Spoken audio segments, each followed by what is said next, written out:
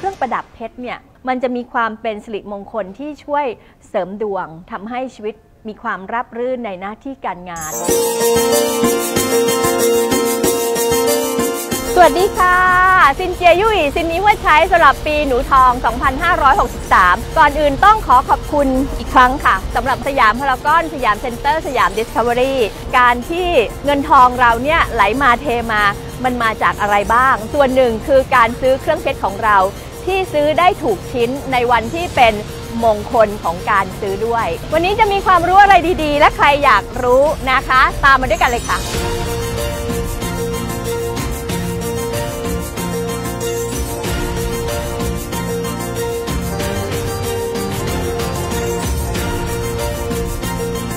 เรือนนี้นะคะ นาฬิกาที่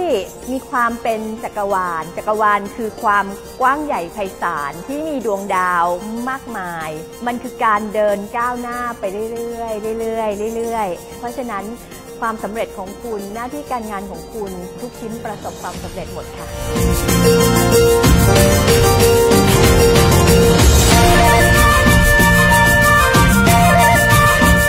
ญาจีนโบราณมองว่าพวกเครื่องประดับเพชรเนี่ยมันจะมีความเป็นสิริมงคลที่ช่วยเสริมดวงทำให้ชีวิต มีความราบรื่นในหน้าที่การงาน Trinity Link สำหรับพี่เนี่ยคุณจะไม่ทะเลาะเบาะแหวงกับใคร เพราะว่ามันเกาะเกี่ยวกันอยู่ จริงความหมายของ Trinity เนี่ยดีมากเลยนะครับ ยกตัวอย่างอย่างตัวที่ท่านอาจารย์ใส่นะครับ ตัวนี้อืมตัวเนี้ยถ้าสังเกตนะครับ มันจะมีอยู่ 3 วัสดุ ก็คือจะมีตัวที่เป็นเอ่อ yellow gold นะครับผม มีตัวที่เป็น pink gold นะครับ แล้วก็มีตัวที่เป็น white gold ค่ะ สีชมพูเนี่ยเขาก็เปรียบเสมือนความรักครับอาจารโอ้ย์โหสีเหลืองเนี่ยเขาหมายถึงความเอ่อบริสุทธิ์ซื่อสัตย์ไวโกก็หมายถึงความสื่อถึงความบริสุทธิ์นะครับ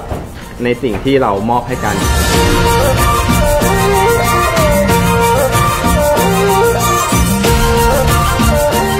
ตรุษจีนปีนี้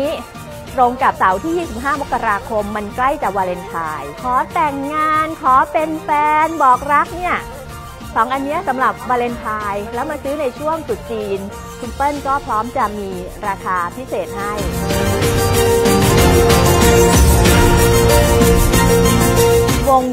ความใหญ่ความหนา ความหนาด้วยนะต้องดูแล้วก็สีที่มันเข้าขายมงคลน้ำเงินนำเงิน กลางดึกคืนวันสิ้นปี ปีนี้คือวันศุกร์ที่ 24 ย่างเข้า 25 เวลา 5 ทุ่มถึงตีหนึ่งนะหันตัวไหว้ไปทางทิศตะวันตก หรือคุณจะมาซื้อวันไหนก็ได้สตาร์ทตั้งแต่วันตรุษจีนวันเสาร์ที่ 25 มกราคมไล่ไปเรื่อยๆจนทั่งถึงสิ้นเดือนกุมภาพันธ์ช่วงนี้ถือเป็นช่วงที่ ปิดให้ดี เปิดให้ดี ปิดให้สวย เปิดให้สวย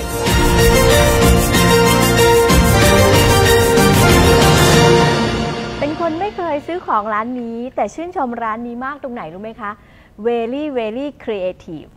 นะ ดูสิ มีม้ามงคลแห่งชัยชนะของชีวิต ดูจากตรงไหนรู้ไหมคะ ถือช่อดอกไม้คือจ็อกกี้ที่วิ่งชนะแล้ว คนเกิดปีมะเมีย หรือถูกโฉลกกับปีมะเมียมะเมียมะแม จอขาน น่าจะมาสอยม้าแห่งความสำเร็จของชีวิต Highly recommend ชอบมากค่ะสำหรับม้าตัวนี้นะคะ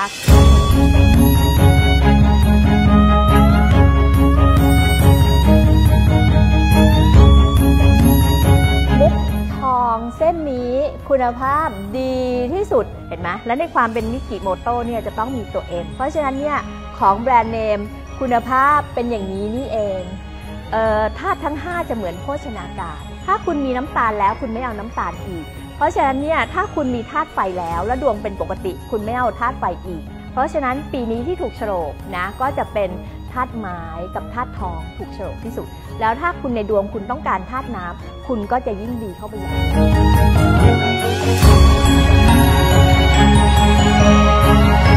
ถ้าจิตรามีลูกสาว จิตราจะซื้ออันนี้เป็น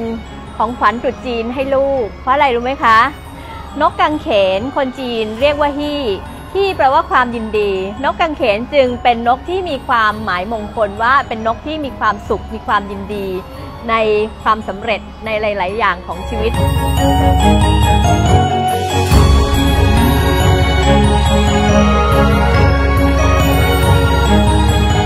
เคล็ดลับในการจะปิดปีให้สวย เปิดปีให้สวยนะคะ เลือกซื้อของที่มันมีความเป็นสิริมงคลเพื่อให้เราใช้เวลาในการ ค่อยๆไล่ดู ค่อยๆไล่ดู แหวนวงนี้มันดีตรงไหนรู้ไหมมันมีความรักอยู่ในหัวใจ แต่หัวใจนี้มันมีขอบที่มันความรักมันไม่ล่วงหล่นไงเข้าใจไหมแต่คุณต้องนิสัยดีด้วยต้องทำตัวดีด้วยนะ มีความรักและเป็นคนดีนะเห็นไหม